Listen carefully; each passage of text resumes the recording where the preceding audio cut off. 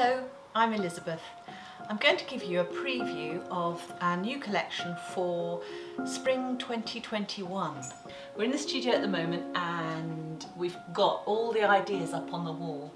We're not at the stage where everything's finalised but we know which designs are going to be part of the collection, where the core inspirations come from and what work's yet to be done. So just for you, here's a little sneak preview of what people don't normally see. So the collection is called The Garden um, and reasons for that are twofold.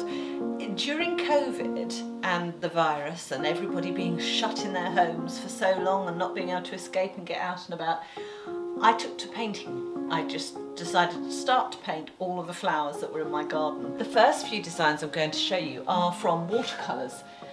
This one is um, sort of a really big mixture of very typical English garden flowers. We've got the Gertrude Jekyll roses, um, Californian poppies, I think they are actually, and some little lovely sort of apricot flowered roses that I've got in the garden as well.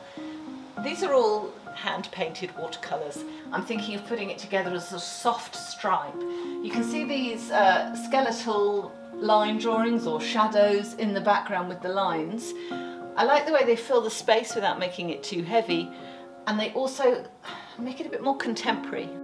The next design is orchids. I had a couple of pot plants, orchids at the time and just started painting them. I love orchids. They're just the most amazing plants. They're so beautiful and so delicate and yet also they, they have quite powerful sort of looking flowers. And we will be also adding a couple of little bugs or mayflies to the design. So this, this is my watercolour. This is a proof that we've printed on our digital print machine of the scale and a colourway of the orchids. It's got a few things wrong with the repeat at the moment that needs sorting out, but essentially this is what you'll get. I, am really loving this sort of powder blue colouring. It's kind of ethereal, it's like the sky. We've got these lovely sort of almost sunset colours in the white orchid heads and then these smoky neutrals and charcoals. The next design is me sketching birds. These are all English garden birds. You wouldn't believe it. These ones with the bright chests um, are called goldfinches. They actually come to my garden. They, they, look so exotic you wouldn't believe they did, but they do.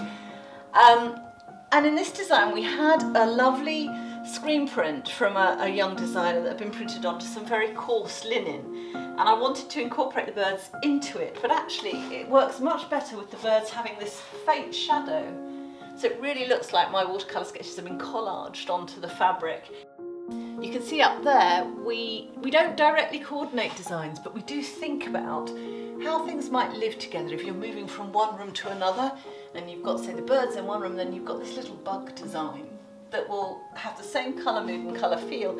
And you can, you know, you can do a, a bedroom and a powder room or a living room and a hallway that, that are harmonious with each other. This one is uh, pansies. I didn't draw these, they're, they're photographic, but I, I, just, every spring, I love the way there's such a vivid rainbow of colours on offer. And I wanted to get that sense of really strong, vibrant colour into the design.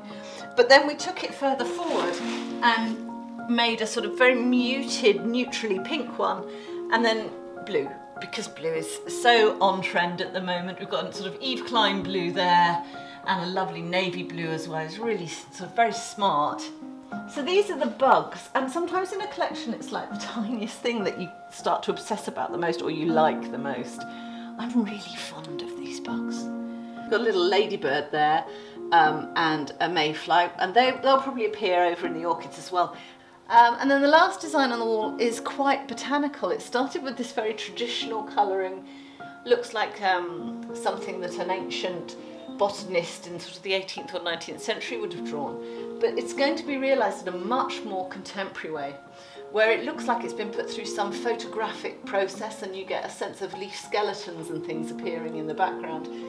And again, you've got that lovely sky blue that we saw at the beginning with the orchids coming through into this design and a very soft, delicate feminine colourway as well. Now the collection's called Garden, which um, I think came out because I was painting in my own garden, but also my mother was a great gardener, much, much, much better gardener than me. And um, it's kind of a nod to her that I've given it that name. The orchids will probably be called Sadie, named after her. And then all of the designs are going to have female names and they're all going to be women who have done something really remarkable in their lives. So that's the garden collection. It'll be coming out in the spring, the early part of 2021 very much hope that you're going to enjoy having it. I think for, for the spring and for the start of the new year, it should freshen us all up, blow out the cobwebs and maybe give us something nice to look forward to as next summer arrives.